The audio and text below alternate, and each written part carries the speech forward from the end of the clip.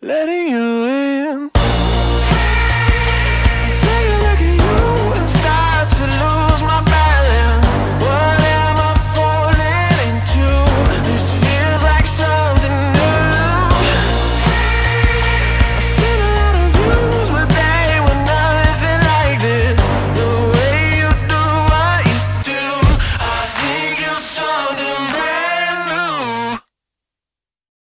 have brought to this stage the Senior Director of Digital Transformation Policy at Digital Europe, which is, as I'm sure you're aware, the leading digital technology industry association representing some 45,000 digital companies right across Europe. So they have a great voice on this. So, ladies and gentlemen, to give us a snapshot of this area, please welcome to the stage Ray Pinto.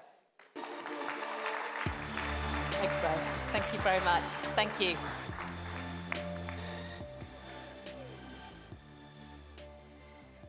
All right, everybody. Thank you very much for uh, leaving the sun and food and ice cream to hear me. Uh, I've been listening to all the speeches today, and I have to say, one that really stood out was the CEO of PPC, because he went into a lot of detail of how they were going to use digital, digital technologies. What did I hear? I heard that he's preparing his company here in Greece to be able to bring renewables onto that grid, to get that flexibility, to make resilience, to make security, to prepare for what eventually may be cyber attacks, and drive down co- costs and make sure blackouts don't hit his, his country, and many other things that digital does. You're going to hear in the next panel in far more detail the benefits of digital. I'm not going to touch upon it too much here, but I wanted to highlight uh, primarily what you can see in regards to that journey in your transformation. There's one person over there who said that digital transformation is already here for the energy sector. Uh, there he is.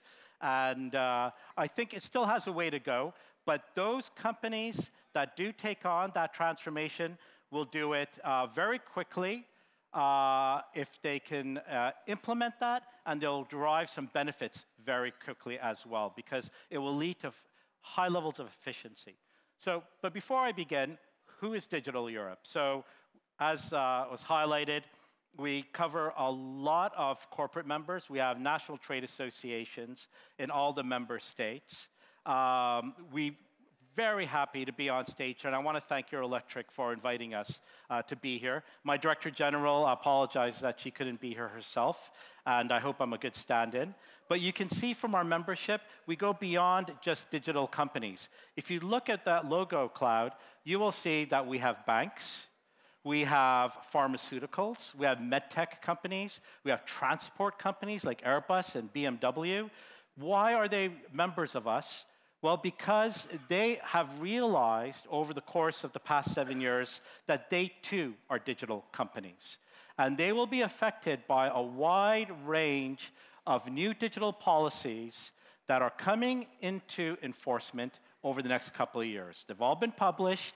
Uh, you will not feel it now, but you will feel it, trust me, in the next couple of years. So we've already talked about this and our membership size and the different vertical areas uh, that we represent.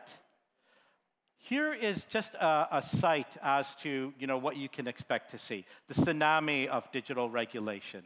Uh, I would love to say that uh, it is forever done and there'll never be more regulation that will be coming down the line.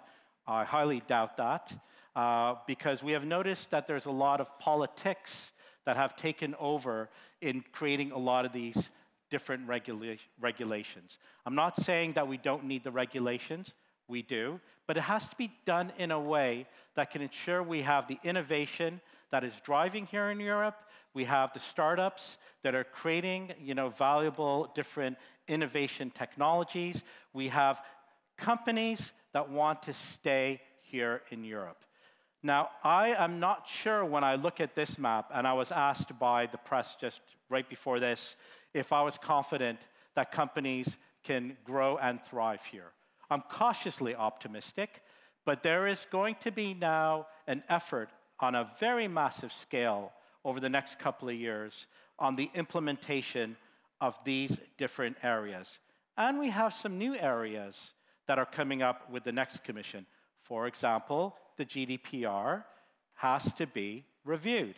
Now, will it be a very focused review, or will politics again drive it to be a massive reopening of the GDPR? I definitely hope it's the former, um, and I really hope that we can focus on implementation. But some areas to call out is we have the AI Act, which again was a regulation that probably went a bit too far in the compliance and the scope that it's covering.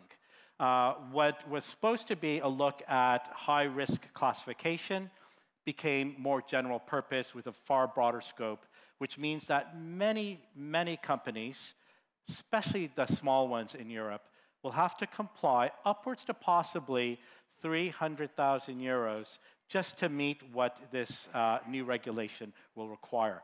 That was from, that number, if anyone's wondering, was from the impact assessment from the European Commission itself when it first started out on the original draft. The draft that has gone through Parliament and Council is far more burdensome, and I imagine that number is probably getting closer to half a million that each SME is going to have to comply to. Many of these different regulations, like the Cyber Resilience Act, is not harmonized, even though, oddly enough, these regulations, their sole purpose is for harmonization.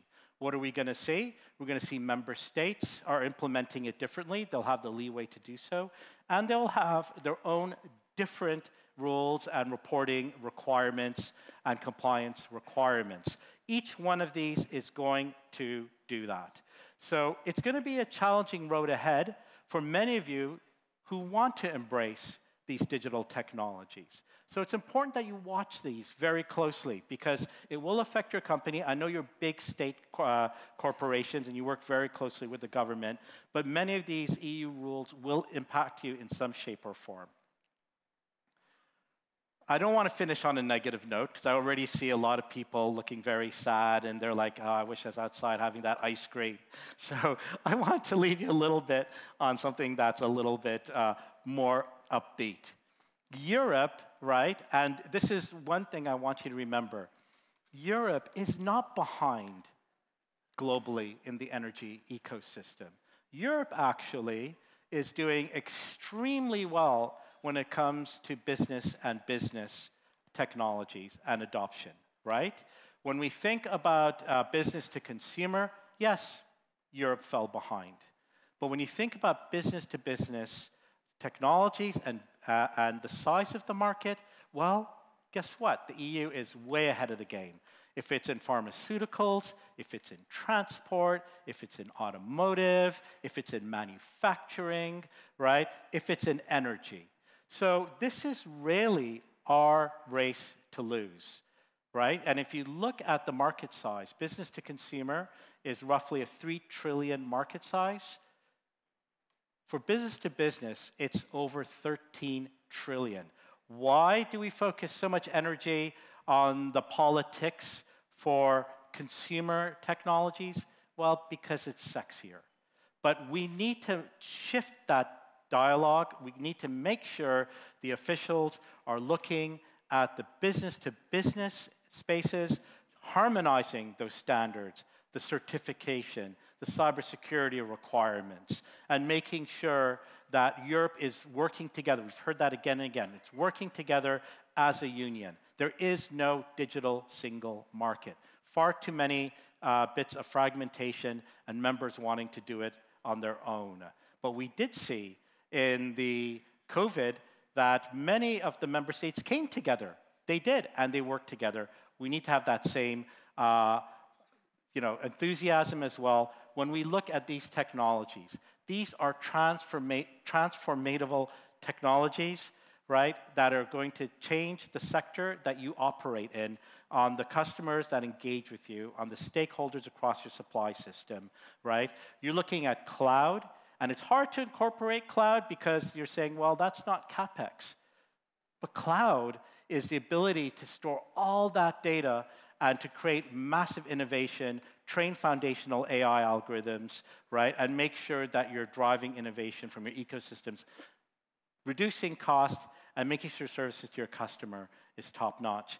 There are all these other different areas that Europe is now looking and identified as growth areas and key technologies that they must invest in. Technologies that will also protect the grid and your businesses from any attacks that are unfortunately increasingly happening day by day. These are all different areas that our trade association is focused on. We are going to be having a series of dialogues with executives. We're going to be inviting the energy players. I definitely want Eurelectric to walk side by side with us as we you know, look at these different areas. And I just want to leave this slide. I have three minutes. I'm going to finish earlier. But I want to just you to have a look at this. These are all different areas that can be the drivers for this transformation. And it's a lot of very technical, difficult areas.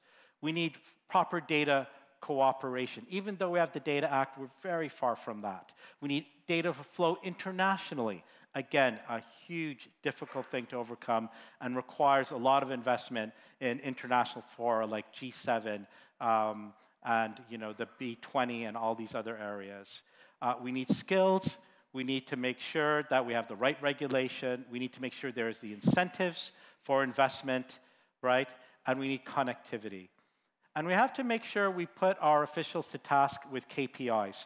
We have our paper uh, that we've produced with very, very clear KPIs, what we want to see as an industry by 2030. I encourage you to have a look at that. And I definitely want to wish you all a great afternoon and the next couple of days in having these discussions. But tell your officials, think digital, make sure digital central to the work that they're doing, and you know, realize that the benefits are there if we embrace them. Thank you very much. Thanks, Ray. Thanks very much. Thank you.